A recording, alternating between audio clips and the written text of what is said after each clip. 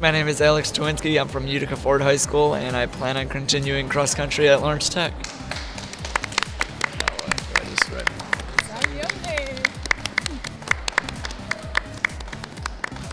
I am Samuel Thompson from Byron Area High School, and I'm signing with Lawrence Technological University.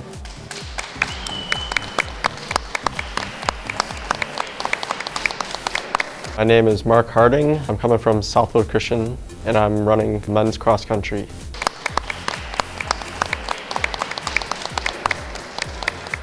To learn more about the cross country team, head on over to ltuathletics.com.